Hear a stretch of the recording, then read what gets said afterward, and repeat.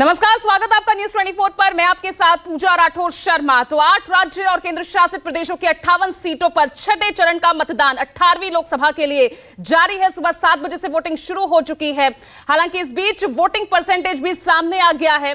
सुबह नौ बजे तक आज वोटिंग परसेंटेज सामने आया है। पश्चिम बंगाल की बात कर ले तो यहाँ अब तक सबसे ज़्यादा वोटिंग दर्ज की गई है। सुबह नौ बजे तक का आंकड़ा सोलह दशमलव पाँच चार फ़ीसदी पश्चिम बंगाल के लिए। ओडिशा की बात करें तो यहाँ इस वक्त सबसे कम मतदान दर्ज किया गया है, सात दशमलव चार तीन फ़ीसदी। सुबह नौ बजे तक का आंकड़ा आपको दिखा रहे हैं। दिल्ली में भी सुस्त रफ्तार है, आठ दशमलव नौ चार फ़ीसदी वोटिंग सुबह नौ बजे तक दर्ज की गई है। उत्तर प्रदेश में भी हालात थोड़े बेहतर, बारह दशमलव तीन तीन फ़ीसदी वोटिंग। लेकिन पश्चिम बंगाल आज भी अभी तक, जो सुबह नौ बजे तक का आंकड़ा आया है, वोटिंग में सबसे आगे चल रहा है। वहीं ट्रेंड जो पहले चरण से पश्चिम बंगाल में देखने को मिल रहा था, लेकिन इस बार ओडिशा में सबसे कम मतदान सात दशमलव चार तीन फ़ीसदी वोटिंग दर्ज की गई है। ओडिशा में। तो अट्ठावन सीटों पर वोटिंग सुबह सात बजे से शुरू हो चुकी है और ग्राउंड ज़ीरो से तस्वीर जानना बेहद ज़रूरी है। क्या माहौल ग्राउंड ज़ीरो पर आप देख सकते हैं मेरे तमाम सहयोगियों को। आसिफ सुहाव हमारे साथ अनंतनाग से जुड़ गए हैं। नॉर्थ ईस्ट दिल्ली से आप देख रहे हैं मेरे सहयोगी पल्लवी को। और अमिताभ ओझा आपको नज़र आ रहे हैं इस वक्त शिवहर से। तो बेहद महत्वपूर्ण सीटें और चल चल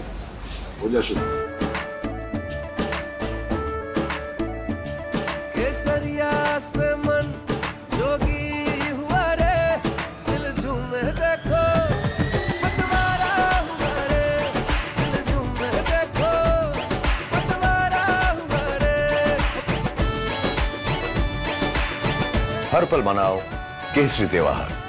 विमल, बोलो जुबा केसरी। सबसे पहले मैं दिल्ली का रुख कर लेती हूँ, क्योंकि देश की राष्ट्रीय राजधानी दिल्ली, देश का दिल, यहाँ की जनता आज किन मुद्दों को लेकर वोट डाल रही है? नॉर्थ ईस्ट दिल्ली, पल्लवी, सबसे ज़्यादा चर्चा में रही ये सीट, अपने प्रत्याशियों के चलते, और तमाम बहुत सी घटनाएँ भी मतदान से पहले चुनाव प्रचार के दौरान हुई। तो बताइए यहाँ की जनता किन मुद्दों को लेकर आज वोटिंग करने पहुँच रही है? और माहौल दिखाइए।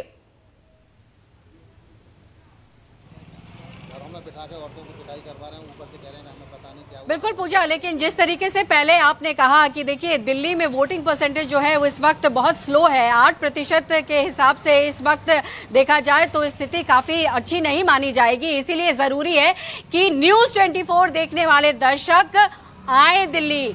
के वोटर्स और वोट करें सेंटर्स पे, क्योंकि ये मत का अधिकार जो है, वो बहुत महत्वपूर्ण है। बहुत बड़ा दिन है, इसीलिए निकल के आइए बाहर। जैसे जैसे गर्मी बढ़ेगी, समस्या बढ़ने लगेगी। इसीलिए ज़रूरी है कि आप जल्दी से आए अपने सेंटर्स पे वोट करें। अब आपने सवाल किया कि बहुत महत्वपूर्ण और बहुत दिलचस्प ये सीट है। जी हाँ बिल्कुल दिलचस्प सीट है, क्योंकि सात सीटों में अगर बात की जाए तो यही एकमात्र सीट है, जिस पर बीजेपी ने अपने उम्मीदवार का टिकट नहीं काटा। यानी मनोज तिवारी को फिर से मौका दिया। लेकिन इंडिया गठबंधन ने ऐसा नाम उतारा जिसे पूर्वांचली कहा जाता है, वो है कन्हैया कुमार।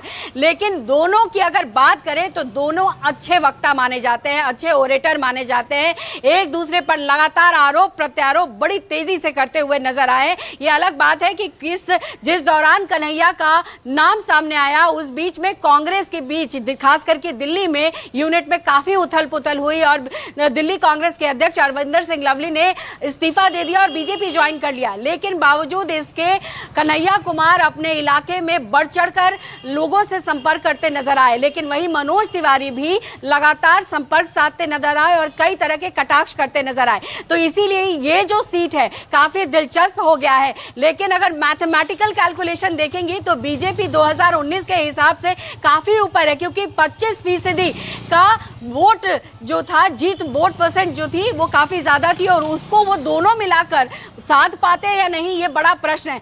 तो सवाल उठता है कि जनता इस बार क्या मन में सोच रही है? क्या मनोज तिवारी के लिए एंटी इनकम्बेंसी है या फिर मोदी वर्सेस इंडिया गठबंधन के प्रत्याशी है? तो अब लोग मेरे साथ यहाँ पर बहुत सारे हैं और लगातार सुबह से पहुँच तो रहे लेकिन यहाँ अंदर काफ़ी भीड़ हो गई है क्योंकि वोटिंग काफ़ी स्लो हो रही है, काफ़ी समय लग रहा है। ये क्यों लग रहा है? मैं कुछ लोगों से पूछ लेती हूँ। आपका नाम क्या है बेटे? आगे आइए।